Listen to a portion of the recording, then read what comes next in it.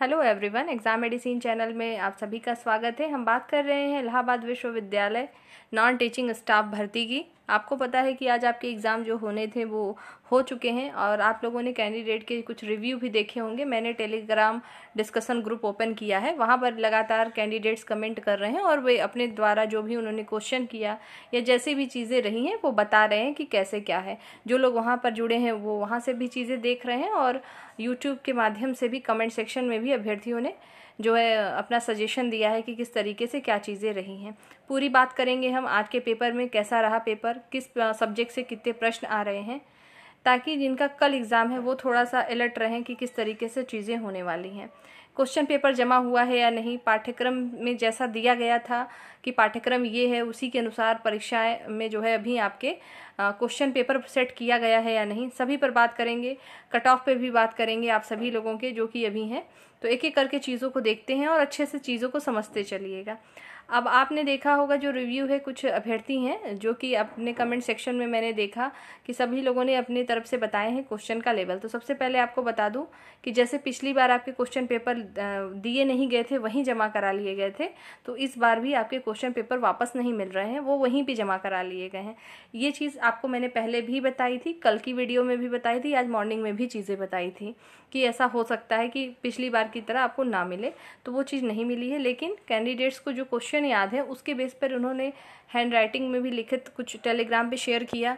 उनको बहुत बहुत धन्यवाद और कुछ अभ्यर्थी हैं जिन्होंने कमेंट बॉक्स में डायरेक्ट अपना क्वेश्चन दिया। उनको भी धन्यवाद की ताकि आप लोगों तक चीज़ें पहुँच पाएँ कि एक्चुअल में किस तरीके का एग्ज़ाम पैटर्न रहा है। तो हम पूरी बात करेंगे इसमें कि किस तरीके से क्वेश्चन पेपर आ रहे हैं और जिनके एग्ज़ाम कल है, उनको एक्स्ट्रा क्या चीज़ें अभी कर लेनी चाहिए। देखिए, जितना आप लोगों ने पढ़ा है, वो तो आपने पढ़ा ही एक्स्ट्रा क्या करना है, वो अभी आपको बताएँगे। उससे पहले आपको बता दें कि जैसे कि मैंने आपको बताया था कि जो पाठ्यक्रम में चीज़ें दी गई थी पेपर, उसी के अनुसार जो है तो पाठ्यक्रम के अनुसार जो है आपका पेपर सेट नहीं किया गया। प्रीवियस ईयर में यही था फॉर्मेट एग्ज़ाम का लेने का कि जो हंड्रेड क्वेश्चन थे टोटल जैसे आपके सब्जेक्ट में डिवाइड है ना, पंद्रह इंग्लिश है, पंद्रह हिंदी है, फिर जनरल एडमिनिस्ट्रेशन है मतलब रिलेवेंट सब्जेक्ट अलग है, फिर आपके जी के जी एस है अलग। तो उस तरीके से उतने उतने क्वेश्चन नहीं आए हैं। प्रीवियस ईयर में यही फॉर्मेट था, इस बार भी ऐसा ही है। लेकिन आप लोगों को करना क्या है, जैसे आपने हिंदी जो चीज़ें पढ़ी, हिंदी के क्वेश्चन आए ज़रूर हैं, लेकिन केवल हिंदी के जैसे उसमें दिया था कि आपके विलोम शब्द आने हैं, पर्यायवाची, संधि विच्छेद लोकोक्तियाँ, मुहावरे। इनके अलावा जो है, वर्णमाला से प्रश्न पूछे गए हैं, एक दो प्रश्न आए हैं वहाँ से।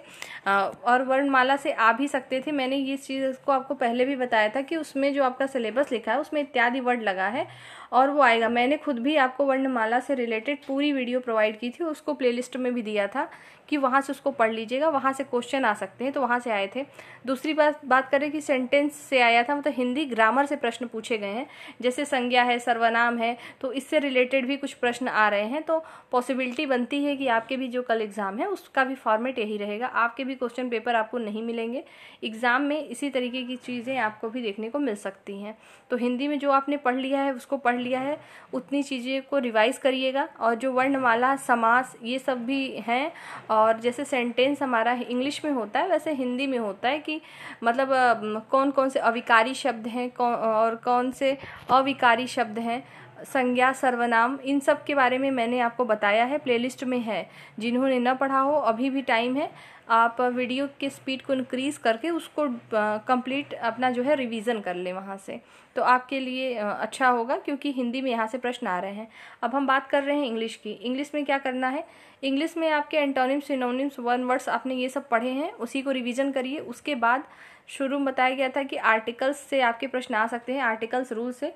आज पेपर में कैंडिडेट ने बताया कि जो है एंटोनिम्स सिनोनिम्स तो नहीं थे, लेकिन आपके सेंटेंस करेक्शन जो कराए जा रहे हैं, उससे संबंधित प्रश्न आए थे। तो उसको आपको करना है, ठीक है? तो इंग्लिश हिंदी में आपको ये चीज़ें जो अभी तक नहीं पढ़ी हैं, ये चीज़ें पढ़िए जो मैं अभी आपको बता रही हूँ एक्स्ट्रा उसके बाद बात कर लेते हैं जीके जीएस में। तो जीके जीएस की बात करेंगे तो आज का पेपर टफ था। सभी के अकॉर्डिंग बताने के आधार पे मैं बता रही हूँ। कि जो क्वेश्चन पेपर अच्छे लेवल का सेट किया गया था, इसमें आपको साइंस पॉलिटी सबके क्वेश्चन देखने को मिले हिस्ट्री के क्वेश्चन कम आए थे।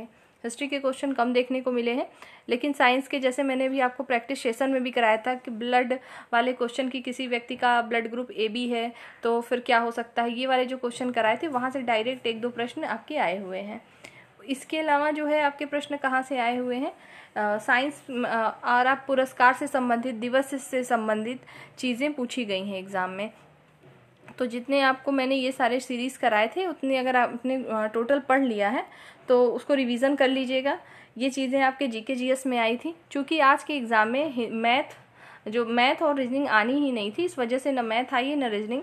आप लोग ये भी क्वेश्चन कर रहे थे कि मैथ और रीजनिंग से प्रश्न अभी के एग्ज़ाम में पूछे गए हैं या नहीं। तो मैथ और रीजनिंग के क्वेश्चन नहीं आए हैं, क्योंकि वो सिलेबस में नहीं था।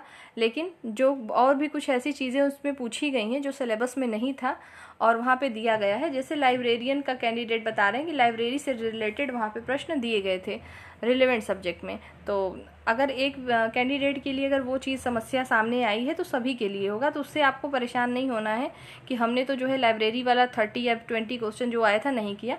अगर आपने अस्सी को अटैम्प्ट किया कि अस्सी मेरे हिसाब से थे तो सभी के लिए भी ऐसा ही रहा होगा। तो जो कट ऑफ़ रहेगी, सबकी एवरेज रहेगी। जो प्रश्न आपको टफ था, अगले के लिए भी वो चीज़ नहीं थी क्योंकि वो भी आउट ऑफ़ सिलेबस रहा था। तो इतनी चीज़ें थी आज के एग्ज़ाम में। दूसरी बात बात करें एक्स्ट्रा क्या चीज़ें इसमें आई हैं? दूसरी चीज़ बताया जा रहा है करंट अफेयर के विषय में। करंट अफेयर को बता रहे हैं कैंडिडेट कि आपके पाँच से छः प्रश्न पूछे गए हैं।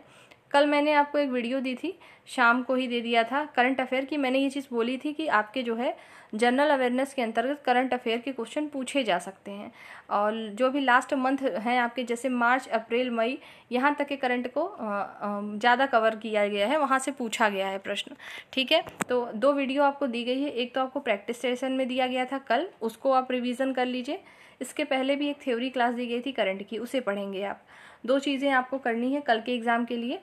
और जितनी चीज़ें पढ़ें, उसको रिवीजन करिए, जो नई एक्स्ट्रा चीज़ें बताई जा रही हैं, उसको एक बार आप देख सकते हैं। बुक से नहीं पढ़ सकते तो वीडियो के माध्यम से उसको कवर कर लीजिए।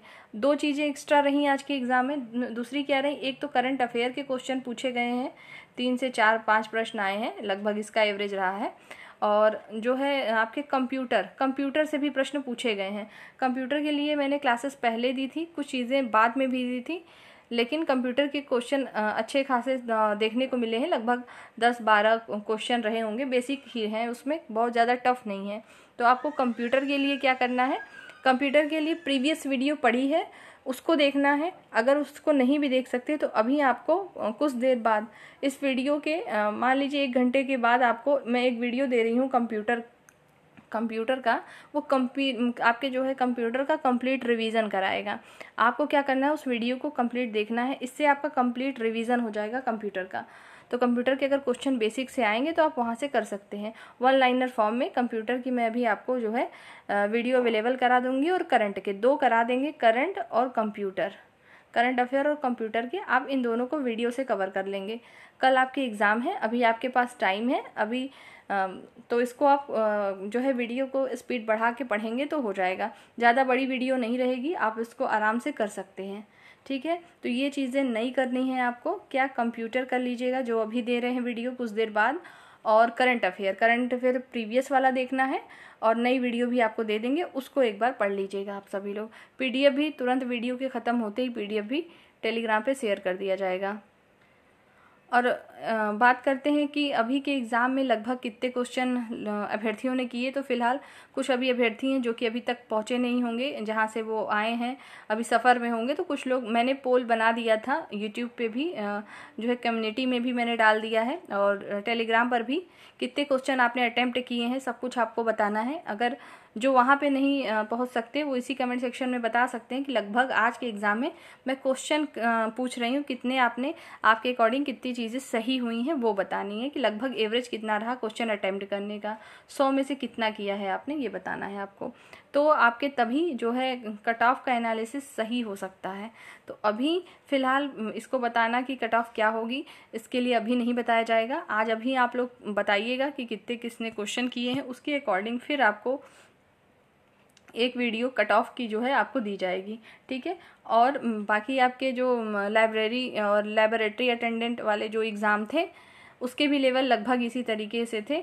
और जो चीज़ें मैंने इसमें बताई, वही चीज़ उसमें है। एक बात और कि संविधान से संबंधित और जो है आपकी देखेंगे भारतीय संस्कृति से संबंधित सभी तरीके के प्रश्न पूछे गए हैं, ठीक है? मैंने पहले ही बताया था जी के जी एस कभी नहीं बदलता है। वो चीज़ जो आपने एक बार पढ़ी है, वही चीज़ आती है क्वेश्चन का लेवल अप डाउन होता रहता है। तो जब MTS का पेपर उस हिसाब से टफ बनाया गया है, बता रहे हैं भर्ती कि जो है जीके सेक्शन टफ रहा तो जीके देखिए एक ऐसा सब्जेक्ट है कि वो टफ थोड़ा सा रहता ही है, कोई भी एग्ज़ाम आप देते हैं। तो बाकी जिनके कल एग्ज़ाम है, इन सब बातों पर ध्यान देंगे। जो चीज़ें मैंने एक्स्ट्रा बताई हैं, उसको कर लीजिए। दूसरी बात ये कि इसमें परेशान होने वाली बात नहीं कि आज का पेपर टफ था, कल भी ऐसे ही आएगा। कल का कल देखेंगे, लेकिन जितनी चीज़ें आपने पढ़ी है, उसको उस तरीके से पढ़िए, जो एक्स्ट्रा बताई गई उसको पढ़ना है, ठीक है? दूसरी बात ये है कि जी के जी एस के लिए अभी आपको एक सीरीज़ शुरू होगी, वो एक जुलाई से, जिसके भी जीके वीक हैं, वो वहाँ से अगर कंप्लीट करेंगे तो उनके जीके जो है, बेहतर हो जाएगी किसी भी एग्ज़ाम के लिए। इसके विषय में आपको अलग से वीडियो द्वारा बताया जाएगा। इसमें आपको पूरी चीज़ें समझ में आ गई होंगी कि पाठ्यक्रम में जो चीज़ें दी गई थी, उसके अनुसार एग्ज़ाम में चीज़ें नहीं पूछी गई हैं। जनरल एडमिनिस्ट्रेशन से भी एक या दो प्रश्न मात्र पूछे गए हैं, ठीक है? कल आपके रिलेवेंट सब्जेक्ट में अबाउट यूनिवर्सिटी है और ऑफ़िस अपकीप है मैथ रीजनिंग सब कुछ है तो आपका आपका पेपर का स्तर दूसरा हो सकता है, ठीक है? लेकिन जो चीज़ें इंक्लूड करनी है वो बता दिया है। अब आपको कुछ देर बाद जब वीडियो मिलेगी तो आप वहाँ से रिविज़न करेंगे। कट ऑफ़ के लिए वीडियो का इंतज़ार रहेगा आपको। इसके लिए आपको मिलेगा। आप लोग पोल पे अपना वोटिंग कर दीजिएगा, किसने कितने क्वेश्चन किए। वहाँ नहीं कर सकते तो यहाँ बताइएगा, फिर आपको फाइनल एक कट ऑफ़ की वीडियो दे दी जाएगी। कट ऑफ़ की वीडियो आपको मिल जाएगी, इसकी कल मिलेगी वीडियो कि एग्जैक्ट कट ऑफ़ क्या हो सकता है। और बाकी प्रोसेस के बारे में हम अगले वीडियो में बात करेंगे। इस वीडियो में फ़िलहाल इतना ही। नेक्स्ट वीडियो में हम जल्द फिर मिलेंगे। जय हिंद।